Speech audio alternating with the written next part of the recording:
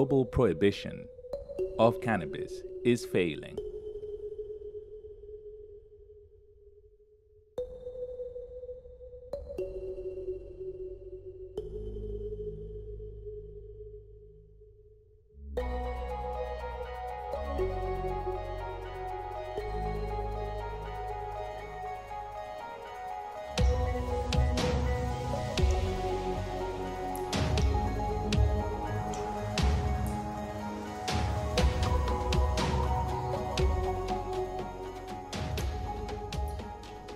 Countries that embrace legal regulation find themselves in breach of international law because of three UN treaties.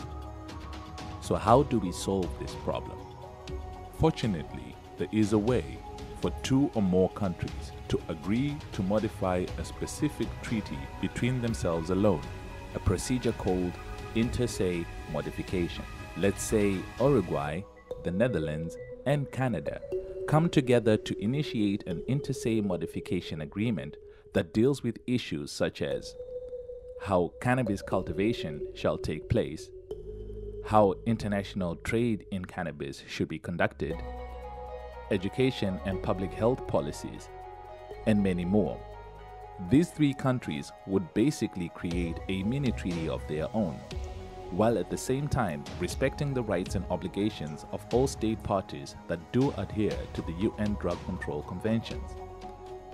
If other countries wish to legally regulate cannabis after this mini treaty is agreed upon, they are free to join the group and enjoy the benefits accordingly. Why is reform at the UN level so necessary and so timely? The UN drug control regime is the reason cannabis became prohibited in the first place.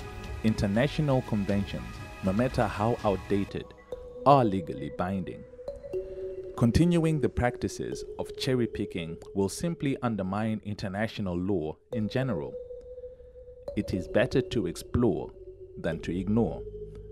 Cannabis farmers in traditional producing countries are at serious risk of being pushed out by commercial companies trying to capture the market. A space for small farmers needs to be protected in the emerging illicit industry.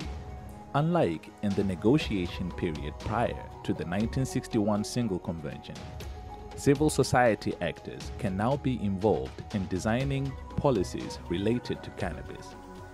This will greatly benefit decades long marginalized populations, such as subsistence farmers, as well as people who use drugs.